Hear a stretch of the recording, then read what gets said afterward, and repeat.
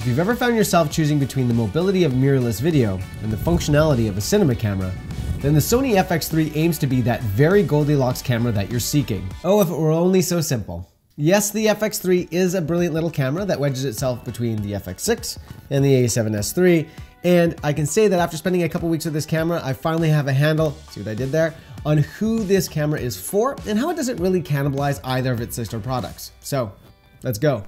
This camera is 100% an A7S III in a cinema focused body.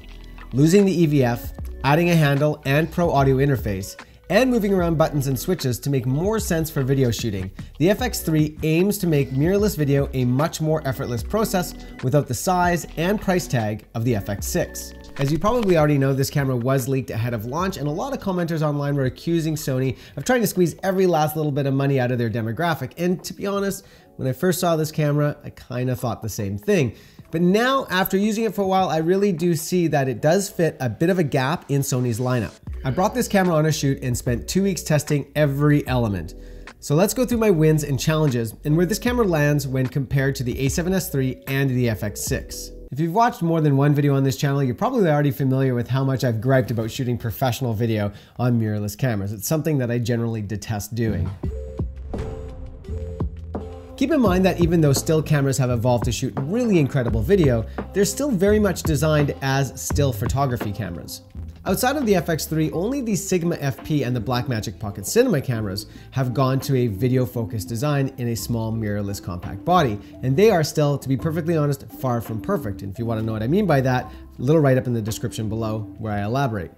But the FX3 with or without the handle, is notably much easier to use than the A7S III, unless you want to take a photo.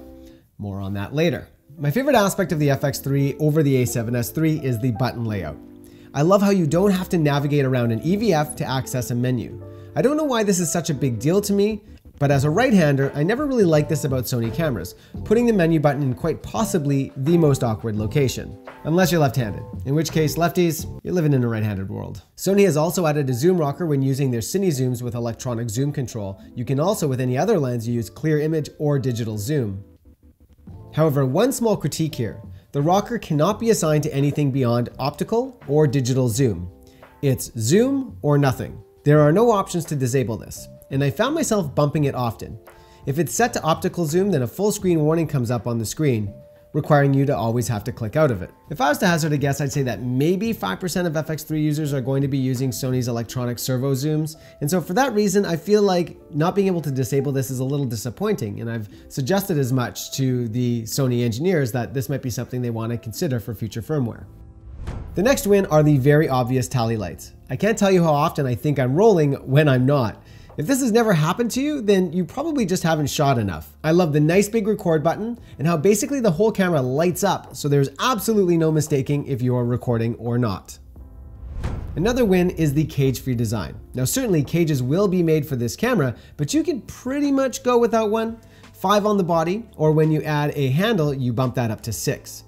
Now, the handle is plastic, which makes me a little hesitant to place heavy items on it or crank it down really hard, but is plenty strong enough for monitors and the sort. However, two really important points here. The first one being that this quarter 20 is right next to the HDMI flap. So if you're using the HDMI and you want to use that quarter 20, then you probably got to find a way to take off this little flap somehow. Except that I couldn't figure out if it's actually removable by the user, and I wasn't about to break the only copy of this camera in the country. The second note is on the audio module part of the handle, there's no cold or hot shoe, and this is the most logical place to put a mic pack.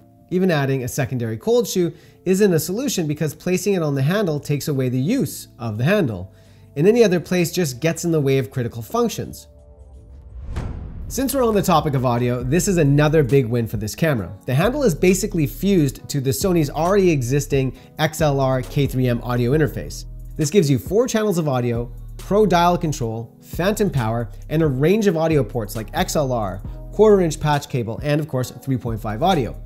Additionally, you get access to 24-bit audio over 16-bit for improved audio quality overall. There are, of course, a couple things that you should know. For most people, this will only give you three channels, in the sense that the 3.5 port is pushed into tracks 3 and 4.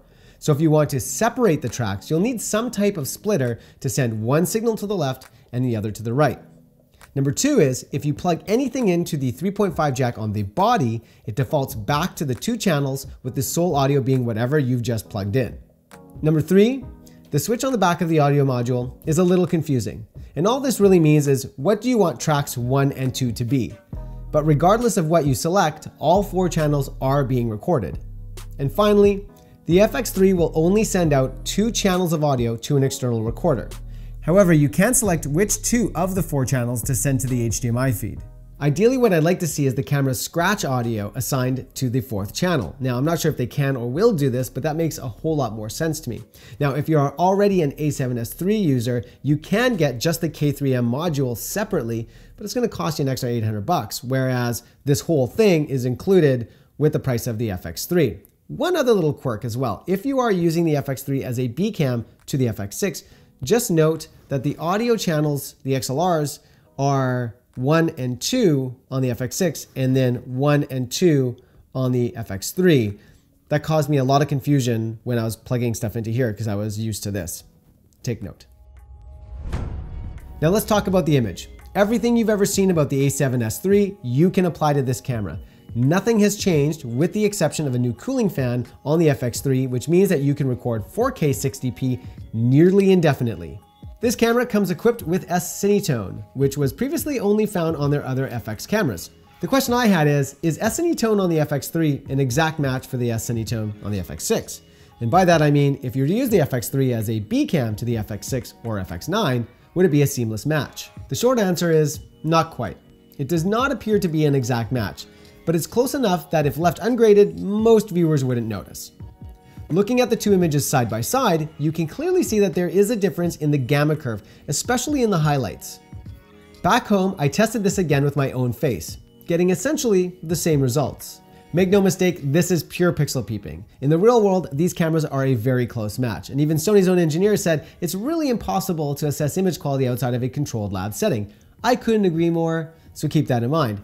That being said, if you shoot with these cameras multiple times in multiple situations, and you keep seeing the same thing, then I'm willing to stick my neck out and say, they're not the same. So I tested both against a chart, and the charts tell us two things. The FX3 exposes one stop brighter than the FX6, or you could say that the FX6 is one stop darker. This is also something that might change in future firmware. Keep in mind, I'm using a pre-production camera. The second thing is that the FX6 seems to be fractionally more accurate throughout the curve. But if you were a stickler for getting the best image, the FX6 time and time again showed me that it appears to have better gamma and image processing over the FX3 or the A7S III, despite the bitrate being exact. Even when looking at the S-Log3 image, we get a better curve out of the FX6. To me, it looks like they are all taken from the exact same camera, but the FX6 had a 1 8 black Pro Mist filter added or a 1 8 Ultracon. Regardless, image quality isn't going to be the defining reason why you choose an FX6 over an FX3, but it certainly helps the case for the FX6. I also feel compelled to mention as well that a camera can't light for you or frame a shot for you, which has infinitely greater effect on the image quality than the camera you're shooting on. The next test for me was rolling shutter. Does the FX6 processor have more power to reduce the rolling shutter effect? To me, I see no perceivable difference between the FX3 and the FX6 which tells you just how remarkable the readout is on the A7S III. Even more surprising, when we slow it down, if I was to give the edge to one of these cameras, it's the FX3 that seems to perform fractionally better. Let's be honest though, there's no way anyone is going to notice this in a real world setting. Now here's a handheld shot from my shoot just to show you how the movement renders in both cameras. Honestly, I can't tell a difference. Can you? All this tells me is that the FX3 displays outstanding technology for a mirrorless camera. Okay, so here's my conclusion. First up, the FX3 versus the A7S III. If you shoot video more than 95% of the time, then I really believe that the FX3 is hands down the most capable mirrorless camera for that purpose on the market. If you shoot stills even 25% of the time, I still believe that the A7S III is the more suitable camera. I personally find taking professional photos without an EVF really frustrating, outside of it being parked on a tripod. Now in terms of the FX3 versus the FX6. If you shoot video professionally, which means you make a living off of it, then I still believe the FX6 is the better camera to have even with the additional investment.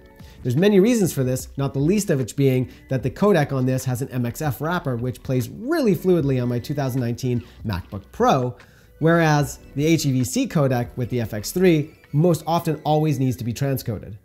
Add to that internal ND, timecode, DCI 4K, user lookup tables, and officially equipped with dual gain ISO, in many professional environments, lacking some of these features is a non-starter. If you're a film student, a wedding shooter, or an independent filmmaker, then the FX3 gives you the most cinema camera experience in a mirrorless form factor. And if you're already on the FX system, like an FX9 or FX6, then the FX3 can be a really good trusted B cam or something that you can say mount to a drone.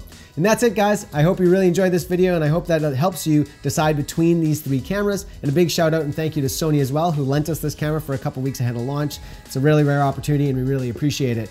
And that's it. As always guys, please subscribe to this channel for more videos like this and you know, comment in the comment section below because I have a feeling you're to have something to say about this camera. So that's it for me. Thank you so much. Peace.